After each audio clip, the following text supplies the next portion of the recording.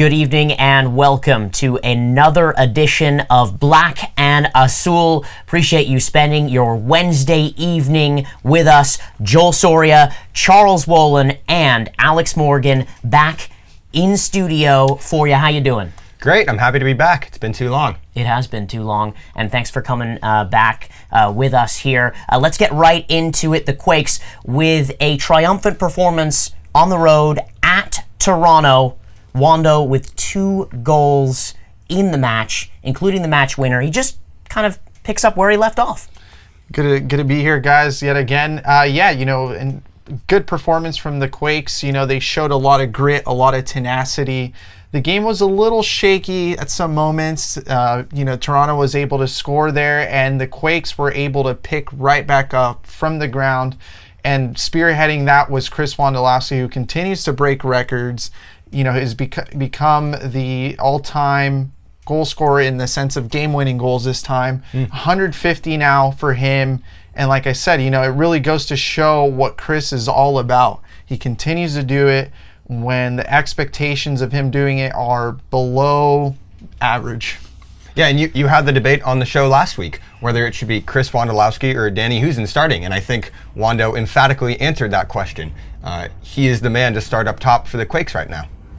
Yeah, I was just going to say that. Jamin Moore on the show last week. The, the question is, will we see Danny Hoesen at some point uh, if Wondo does keep this up, right? Yeah, well, I mean, we did see him a little bit against Toronto, and I think Matias is going to try and do that a little bit more moving forward, especially given the fact that, you know, this team is going to be playing a lot in the next couple of weeks might be able to slot in uh, Danny Hoesen and Chris Wondo at the same time. Mm. Danny Hoesen doing a little bit more of the running and just having uh, Chris Wondo as, as you know that position stationary uh, forward. Yeah, and I think they've already reached a good balance. You know, Chris started the season uh, as the starting forward. You know, he wasn't scoring, so Danny came on. You know, then Danny scores, has a good run, then he picks up a knock. Chris comes on, and then Chris uh, has been on. Uh, you know, an amazing run now you know, it won't be able to last forever. He should be the starting forward for now. You know, he might need a rest. Uh, he might, you know, pick up a knock, and then Danny will see some time. But I think there's a good equilibrium now and a good balance uh, uh, rotation. I agree, 100%. And their first away win since August of 2018, mm. quite some time uh, since that first uh, away win here. Obviously, we've seen the home form uh, and Avaya Castle. I mean, that speaks for itself. I think it's what four or five matches in a row now at home, and yeah. by big margins, big leads. Right. And I talk about it on the show. You gotta be able to win at home always, right. mm. or at least tie at home, and then gently pick up points on the road as you continue to progress.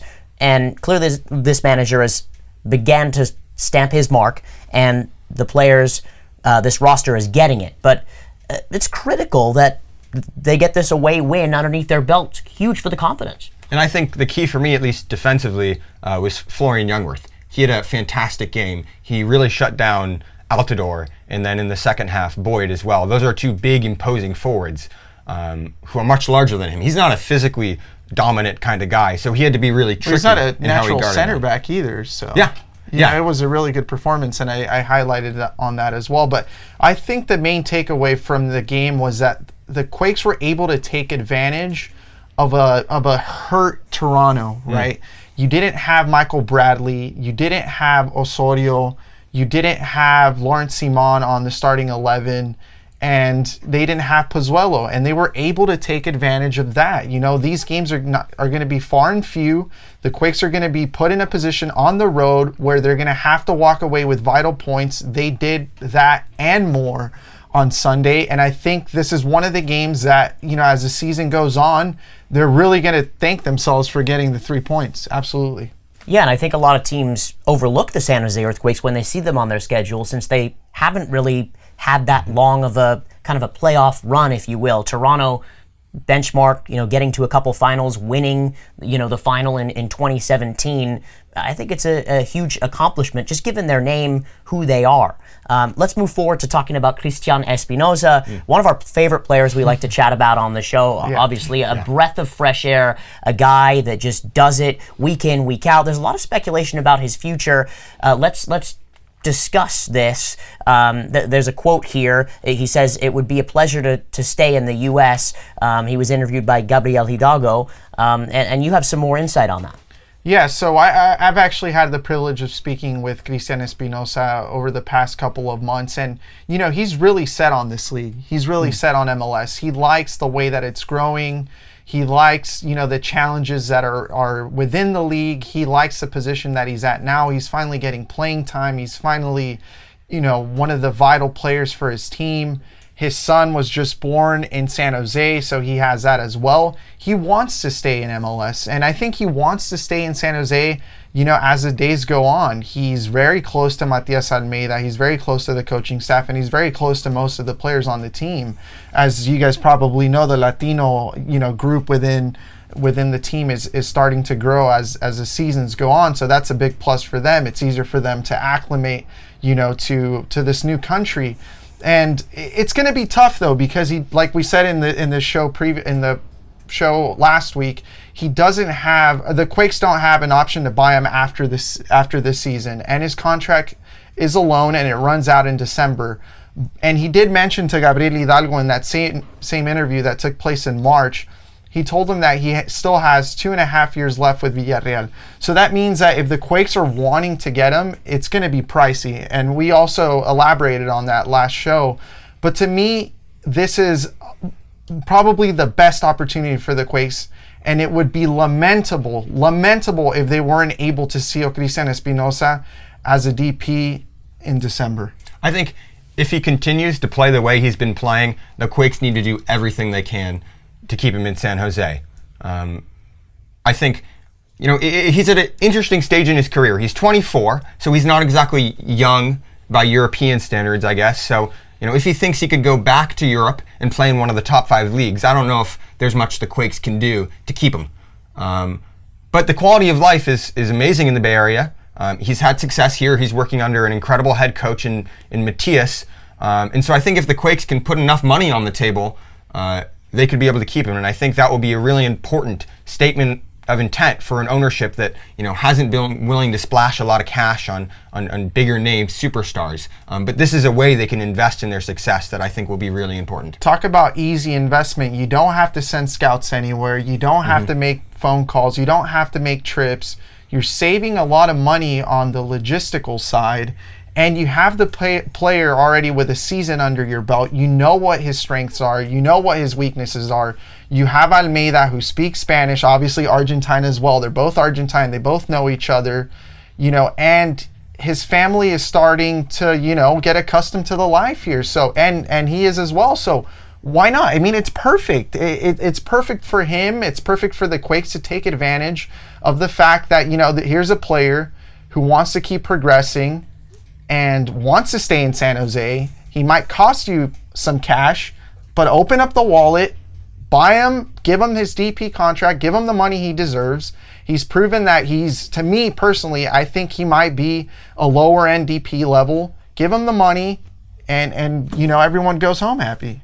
Yeah, I mean he's a diamond in the rough this year. Uh, someone that just has taken the reins, run with it, enjoying his time under Matias Almeyda and he's a true out and out winger. P- fans love him, people love him. Clearly, the team loves him, and, and he's so productive. Uh, it would be uh, really disappointing not to see him back next year. I think the Quakes, uh, in their heart of minds, know this, and I think they're going to get the deal done.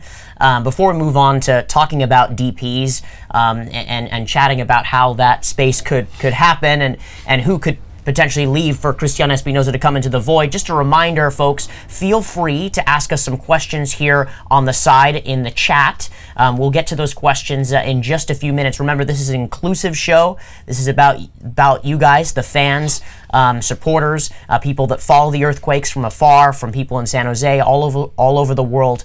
Um, any question is a good question. Feel free to give us some comments or feedback as well. Any feedback is good feedback um, here. All right, so let's talk about um, one of the designated players on the team. We talked about him last week, Vako. Is he done in, in San Jose? I mean, um, his, his stat line um, from 2017 13 games played, 5 goals, 2 assists, 8 starts. Uh, 2018 33 games played, 10 goals, 5 assists, 31 starts. Um, this year, 11 games played, 1 goal, 1 assist, 4 starts. Um, he's come on as a substitute late. Um, you saw some, uh, some of his kind of you know work rate ish, uh, and you had some comments about that, you know, that you want to share. And Yeah, look, Yeah, Vako's, what do you think? Vako's been the odd man out in Yeah. Matias' system so far. Uh, and to me, uh, he was subbed in late on against Toronto, which is a perplexing sub because he's not a defensive minded player and they were trying to protect their lead. Um, but, you know, he had the legs. He was a late sub. He had the legs to be able to run and really work hard defensively. I didn't see that. He was losing his man uh, and he had, he had really bad body language. Uh, and, and, and to me, As always. yeah, that, that that's true. Uh, and, and to me, really, at this point, unless he manages to change that attitude in a significant manner uh, and really work on his defensive work rate, uh, I, I don't see how he has a future uh, in Matias's team.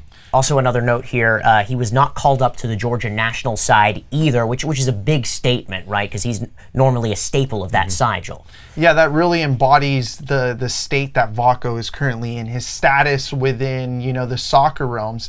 He's a player that you know is really not in the favor of anyone at the moment. You know, he's he's not getting playing time here in San Jose.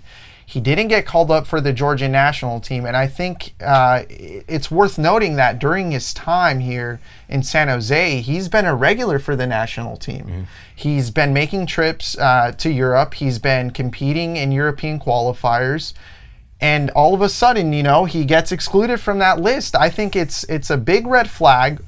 You know, his his his countryman, Jo- uh, Guram Kashia, was called, and he hasn't been getting playing time either. So I think that says a lot. Both of these players are kind of outside looking in, but for some reason Kashia gets elected and Vako gets excluded. I think there's something going on here. I, I don't know what it is, but you know, Vako is certainly not not at the level that we all expected him to be at. Look, Vako's still young. He still has lots of uh, lots of playing career ahead of him. I think he has to start to recognize it if he wants to, you know, earn his place back on the Georgian national team. Uh, that he's got to find a place where he can I mean, but be in does the he starting lineup. I, does he does he like the sport? I don't I don't know. I think I, it would be to me it would be really usable to know where his head is at because he as a DP should be talking to media regularly. He we should be able to you know kind of tell his story to those you know who keep up with this team, but a little bit is known about Vako. You know, he's not an open guy. We don't really know much about him at all, aside from you know what he displays on the field, and it's the same for everyone. You know, at times it's it's it's lazy, at times it's productive. Sometimes he's a magician, sometimes he's just a bench warmer. Like you, we, we don't really know what's going on. So I think it would be very very beneficial for us to know what's really going on because from what we see on the field, what it tells me at least personally, this is this is this is to me, I don't think he's I don't think he loves the sport. I think it's a burden for him because he jogs around the field. He he you know poses this very negative body language. I mean, I don't know what they saw in him as a DP. He's not a DP in that standard at all. Well, it's tricky, as you said, because you know he rarely speaks to the media. Even after he scored uh, two goals, which he hasn't recently, um, when he joined, he, he never has wanted to speak to the media, and he's been very shy and reserved. And I think that's also hindered him some on the field. Um, you know, other players when he was originally signed were you know talking about how they needed to sort of get him out of his shell, get him communicating. And I think given Matias's system requires so much communication uh, and you know an open dialogue within the team, uh, I don't know if Vako's really been able to connect with that sort of style. And I think that's part of the reason why he could be you know excluded from the starting lineup and not playing well. Yeah, the body language is clear. Uh, I think most uh, folks that follow the team or, or see him out there uh, can see that. Um, the energy is palpable, and it's negative energy, and that negative energy um, is is not where the Quakes are going right now. They're going in a totally different direction. Um, I- think when Jesse Fioranelli got here, he was one of the first signings. Vaco was one of his first signings. Clearly, for the first couple years, it, it was a nice band aid for this club. I think people you know, expected the world of Vako. I certainly did, um, and, and I like the way that Vako has played in flashes. But again, I've said this a couple weeks ago. I think Vako has been the fall guy for Matias Almeyda. And Matias Almeyda is going to come into this side. He's going to rework everything like Roto-Rooter. He's going to bring in four to five of his own guys like he did. Uh, Daniel Vega, already a staple in the team. Espinoza, a, a, a staple, um, you know, in, in the team. Uh, Judson, I think, is going to have another chance. I think he's a phenomenal player, uh, the N'Golo Kante. And I think that Vako is going to uh, leave and, and, you know, that, that, that money will be available for, for the Earthquakes to be able to sign some players because uh, the body language can't go on this much longer. It looks like a player who's just so unhappy. Um, he's kind of sulking, uh, le sulk, if you will. Um, and, and so um, that's kind of my position on Vako. Disappointing, um, like you said, Alex, because it would be nice to see him back in the Georgian national team. Always nice to have a national team player in your side, right? Um, but if he's not competing and not getting into the starting 11, he needs to find a new club where he could get into his own national team, right? two and a half years, four million dollars later, and Vako has provided us with some glimpses of brilliance. Aside from that, nothing else. And I think you also have to credit Shea Salinas because Shea Salinas has replaced him in the starting lineup and done a fantastic job. Shea's a guy that a couple of years ago a lot of people uh, wrote off. Um, but he's you know kept his head down. He's one of the most hard workers on the team. That's different though. Um, Shea Salinas is is just your your you know rudimentary MLS player. He's just I mean, I wouldn't say that. I think he's been one of the standout performers for the Quakes. no so far this this season he has, but he he's he's an MLS player through and through. Right. You know, Vako's an international player. He's a designated player. This is a player you're paying millions of dollars to perform, and he's not doing so. So you know. Being a designated designated player as well also warrants a lot of responsibility. You know, it, it calls for you know good seasons you know, as and and Vako isn't doing that. So there there needs to be pressure there, and uh, you know, at this point, I think he's starting to feel it. And but when he's going on the field, he's he's not showing for it. Yeah, and his place has been usurped by by a Shea Salinas um, and a Magnus Eriksson that, that just kind of does the role, um, you know, week in, week out. Uh, let, us now segue to talking about uh, the upcoming fixtures for the San Jose Earthquakes. Um, they go back on the road uh, this weekend against DC United, top of the Eastern Conference. Eastern Conference is a little different than the West uh, in the sense that they're a little bit more muddled at the top of the table there. The West has a couple clear favorites and then kind of a full middle, um, if you will. But they are top of the table. It's going to be a stern test for this side. Yeah, absolutely. I mean, today they played against the Chicago Fire. They drew 3 3. DC United always has um, that edge, though. They have Wayne Rooney, they have Acosta. Acosta scored today. I think the Quakes are just going to have to take advantage of the fact that Chris Wondolowski's playing well right now, and the team's on a on a positive note. You know, get the ball to him. He will be able to, you know, find his own space. He's probably going to be able to put one in. They're just going to have to, like I said, ride their high, continue to, you know, progress with that right mentality that they're they're showing right now. Look, and it's a different test than Toronto was. Toronto up front, you know, had the big man, Altidore. Um, DC United have uh, a more inverted forward in Rooney. Um, and I think that could pose a problem for the Quakes because one of the one of the you know the downsides of the man marking system and something that Toronto managed to capitalize on for their goal uh, was if you drag the defenders out of position by dropping your forwards and then have overlapping runs, it puts the Quakes defenders in a in a tough spot. Uh, and so I think that, that that could pose a problem for San Jose. Yeah, it certainly does, and, and I'm, I'm assuming that Matias Almeyda is is really getting into his players and chatting to them about trying to get another result back to back on the road, seeing the fact that they played with so much confidence, so much vigor, uh, so much verve uh, in the way that they they, they kind of handled that in, in Toronto. Not to say that it was easy by any stretch of the imagination, um, but if they can get a result, even a point, three points um, on the road back to back, would really do them some good. Yeah, absolutely. But I, I think even, you know, a, a, a complete performance, whether they get points or not, would be a positive for this team. Mm-hmm. They took three points going to Toronto. That's a tough task in and of itself. So I think even if the Quakes are able to squeeze out a point, or maybe if they come back home defeated, it's I think it's still a positive, uh, you know, road trip. That's that's how you make the playoffs. You make the playoffs in MLS by winning at home and getting as many points as you can. They're the doing road. that right now. Alex Morgan, everybody. That's why he's on the show. I'm not sure if that's some Yeah, I mean, incredible he- insight, he knows. He knows. Uh, you can tune into that uh, DC United game 5 p.m. Pacific on Saturday, NBC Sports Bay Area or KNBR 1050 or 1370 KZSF en Espanol, as well with our friend Carlos Cesar Rivera. Let's go ahead and take some of your questions here. All right. Um, Jesus S, good question. Do you guys think we will see the inverted winger Calvillo experiment again versus DC, or will we, will we see someone like Haji on the wing this time around? Well, that's uh, that's a pretty loaded question. I mean, Very tactical, but why not? It's very tactical, and it's tough to say when we are not on the road with the team, right? Correct. The, the team didn't come back this week to the Bay Area. They flew to Toronto last week. They flew directly from Toronto to DC. They're in the nation's capital, gearing up for their their game this weekend. And I don't really know how they're going to line up. I assume that, you know, maybe Marcos Lopez is going to find his way into the 11. Maybe we might see Calvillo get in there.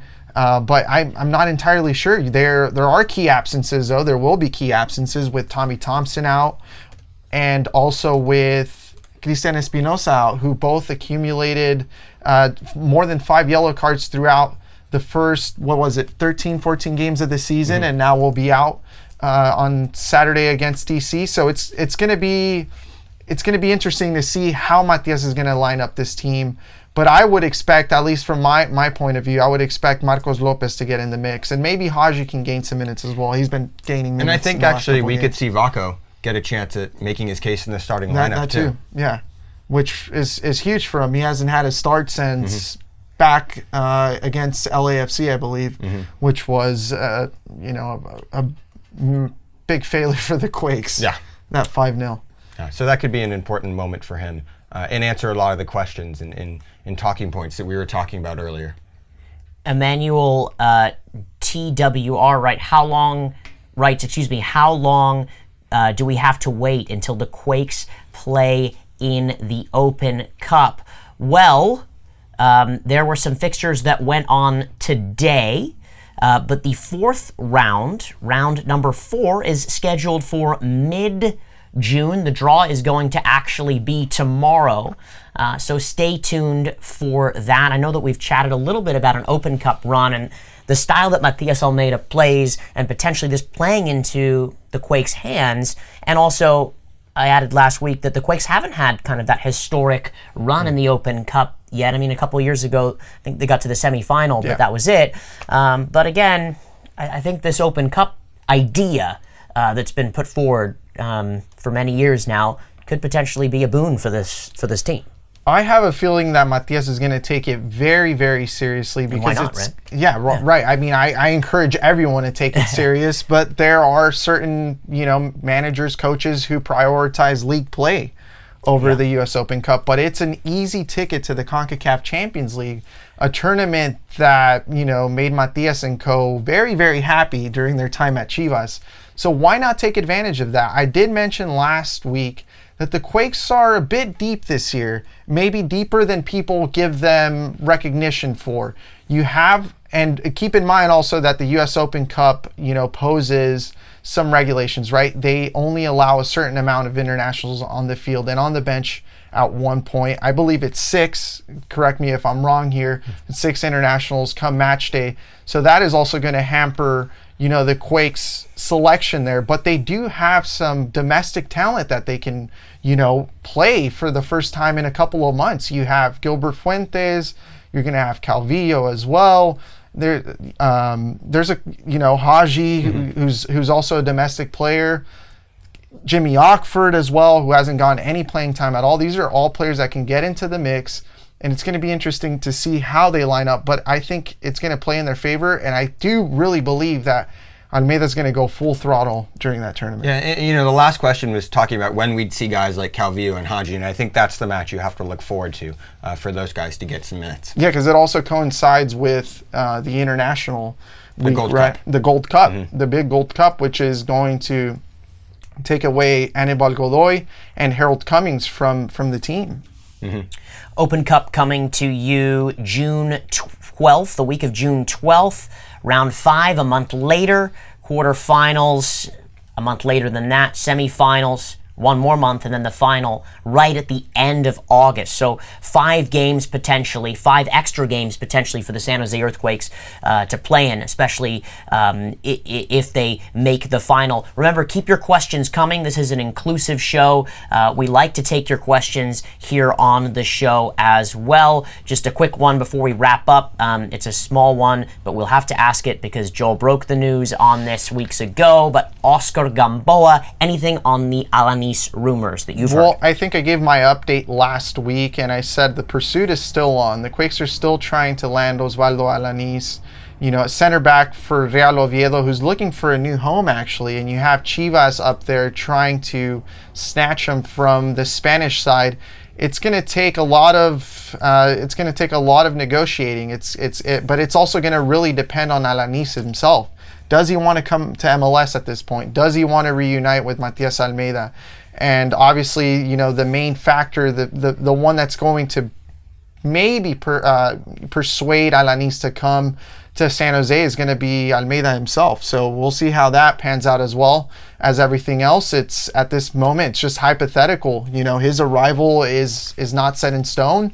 There's nothing in place. There is interest, but nothing more than that. But I, I also think it speaks to the fact that there's a lot of optimism right now. With a guy like Matias at the helm, you know, these signings are more conceivable than they were in the past. Um, so that's something that should should excite the fans uh, going forward, and something that might you know bring them back to Avaya Stadium yeah, optimism, positivity in this side. Um, the, the, energy is kind of flowing 17 points out of the last 27 uh, for the San Jose Earthquakes in their last nine matches. Um, 5 2 and 2 overall uh, for the side. Now, last question here, and now that we've got Alex on the show, we're in a very different place um, at, that point in the season, but uh, we're going to end on this note. Eli Rathal, and I'm sorry if I'm pronouncing your name incorrectly, with the Quakes now in the playoff spots based on PPG, which I'm assuming stands for points per game. Do you guys personally think we'll make it in this year? I throw it to you, Alex Morgan. Look, take what I say with a grain of salt because after the LAFC LAFC game, I came on this show and I wrote off the Quakes for this season. Um, but I think the Quakes are in a good spot now. They're, they're confident, as Joe was talking about. You know, they have some depth. You have two starting forwards who can get the job done in Wondo and Hoesen, and you have three center backs um, that, that have all, you know, played well this season. Uh, so I think that, you know, barring any major injuries, they're, they're in a good spot. Uh, and I think that, yeah, we, we could see them nicking a, a seventh or sixth or even fifth spot in the playoffs this year. I've said it all along. I, I think the, the Quakes are in contention to fight for those last two spots in the West. Uh, they shouldn't struggle, you know, to, to, to fight for them, and they shouldn't struggle to not be in the picture. They have a decent roster. You know, it's it's it's not amazing, but top top down, it's it's it's subpar. It's it's probably a little above average, and that's going to hold. You know, we're not asking for much, and I've said this before too.